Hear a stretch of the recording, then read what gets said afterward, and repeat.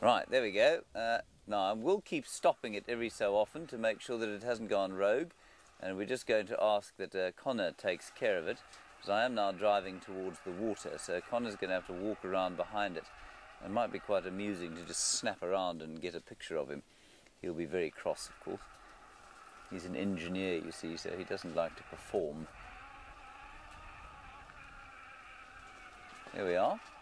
So, like I was saying, the idea will be to get this thing into a position, I've got a bit of a fright there, where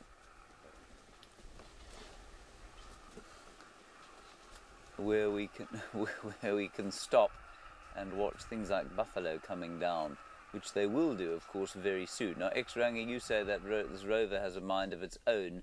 It does seem to, and that it needs to learn or be programmed, certainly with some robot laws.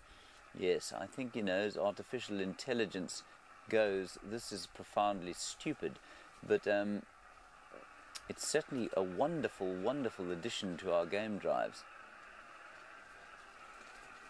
This seems to be absolutely fine. This is marvellous. Let's turn it round quickly. I bet Connor's just behind. Got him. Anyway, there's a whole lot of technical stuff going on there at the waterhole.